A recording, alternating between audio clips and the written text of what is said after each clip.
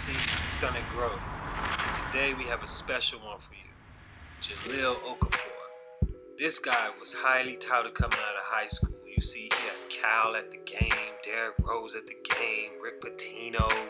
This guy had everybody coming to watch him. Everybody knew he was big time. And a lot of people still showing love today, wondering why he never got his shine.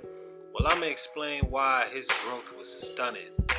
Born December 15, 1995, this guy was a heavy recruit out of Chicago. I mean, he had the size, he had the skill, the footwork. You see him going up against Jabari Parker, dominating. You know what I'm saying? Like he was, he was one of the best high school players ever in Chicago, and everybody know it. You know, he was highly recruited since before high school. He had been a top recruit for years.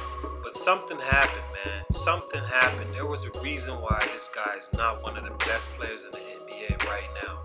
Now, as you can see, his footwork is amazing. His body control is amazing. Strong young kid, and he's still young, even right now. So let's get into a little bit of why I think this guy's growth was stunning.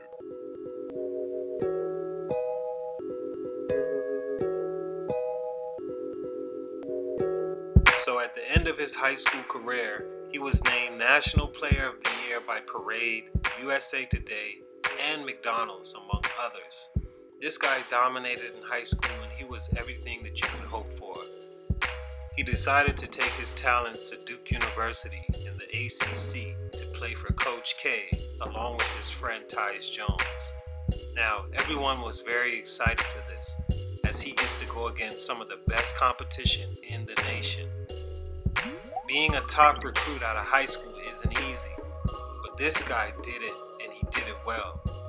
His first game at Duke, he had almost 20 points, 19 to be exact, and over 15 in the next four games. This guy was the real deal. He had footwork, he had handles, look at up and under, fake, finish, he could shoot the ball. And for the season, he ended up averaging 17 points while shooting 50% from the field. Really good for a big man, and also averaging 8 rebounds per game. Now at 6'11, this guy was expected to do a lot in the tournament. And come tourney time, he didn't disappoint. Although in his last game against Kaminsky at Wisconsin, he had 10 points and was in foul trouble the whole game, which concerned some scouts. But it wasn't big enough to throw him out of the top 10 or lottery consideration. This guy played well, man, the whole season. In college, he was a typical college big man, a typical good college big man. But the concerns about him was he couldn't really defend. He moved his feet well, had good footwork, but he wasn't one of those athletic, long big men that would get above the rim and dominate you on defense, you know. Which wasn't really a big deal since his offense was so refined. Coming out of high school and college, he was such a highly touted prospect. Now, this could be a gift and a curse for prospects. I always say, once you have that name in high school, that could take you on a fast path straight to the NBA. This was the case for Jahlil Okafor. Now, the 2015 NBA draft lottery began with three teams fighting for the number one spot the 76ers, the Minnesota Timberwolves, the Los Angeles Lakers. And this is the beginning of the stunt. The 76ers only had a 15% chance of getting the number one pick. And so happens, they ended up with the number three pick in the draft.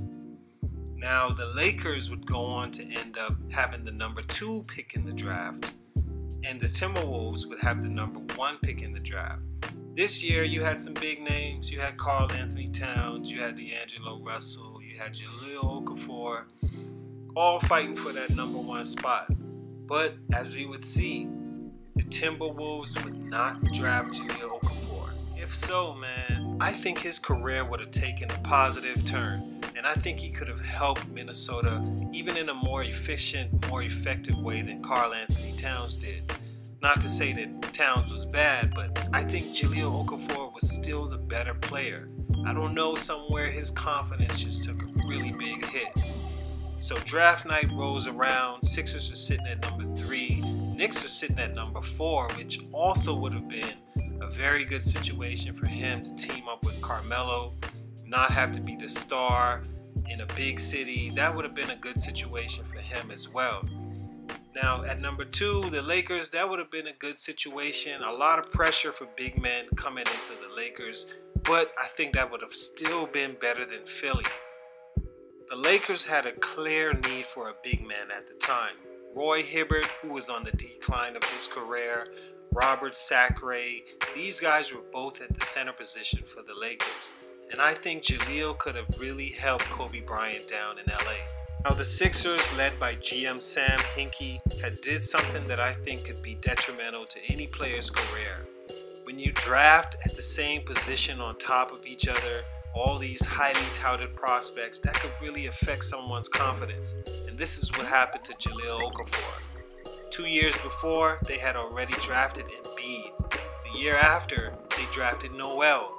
There was clearly no space for this guy Okafor there. But the 76ers still took him with the third pick in the draft. And you could see in his face he wasn't too excited about going to Philly. But hey, you're getting drafted into the NBA. What can you do? You kiss your mom, you hug your friends, and you go and play. They could have easily taken Emmanuel Mudiay right there. They needed a point guard. He was a highly touted prospect coming out of high school and overseas. He was long, athletic, and we didn't know he was going to be what he turned out to be, but who knows? His career could have taken a different path had he been drafted by a team like Philly. They could have also taken Kristaps Porzingis. Now, in hindsight, it's 2020. We now know that that guy is amazing. But Jahlil Okafor wasn't that bad either. He started his rookie season very well, actually.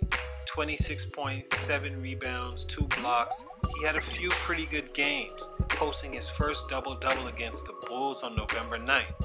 The Sixers still managed to get off to an 0 16 start, the worst start in NBA history all because of that fateful decision by Philadelphia to draft Jahlil number three in 2015. This is the first reason his growth was stunning. Along with some injuries that plagued his rookie season, he still averaged 17 points per game, along with 7 rebounds per game, while shooting 50% from the field. And then, this happened.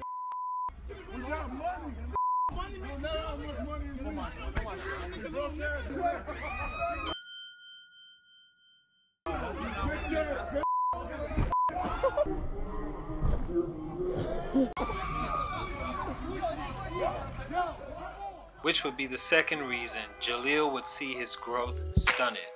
On December 2nd, the team decided to suspend Jahlil for two games. Upon his return, he still managed to return back to form making the All Star Weekend's Rising Star Challenge. Injuries plagued him after that, and his season was cut short to only 53 games. The next year, Jahlil Okafor would see his time diminish even more, playing behind veteran Amir Johnson, who was brought in on a one year, $11 million contract. Now, Coach Brett Brown at the time was a defensive minded coach, and Amir was a very good defender better than Jahlil. So Jahlil didn't see the court very much that year. This led to an outcry by fans and even other players donning free Jah shirts, wanting to see the once highly touted prospect get a chance to shine like they think he should have. On December 17, 2017, Okafor was traded along with Nick Stauskas and a 2019 second round draft pick to the Brooklyn Nets in exchange for Trevor Booker. In his debut for the Nets on December 15, 2017, his 22nd birthday, Okafor had 10 points and 4 rebounds in 23 minutes. Hopefully, Jahlil can bounce back and be the player that everyone thought he would be coming out of high school. We all want to see these players do good, and it sucks to have your growth stunted by something that you absolutely can't control. But in my opinion, I think this guy could have been one of the best big men of his generation. He had the tools, he had the footwork, he had the drive, he had the opportunity. Now let's see if he has the character. He's still only 22 years old, it's still a long journey for him. So hopefully he turns it around. This has been JC with Stunted Growth.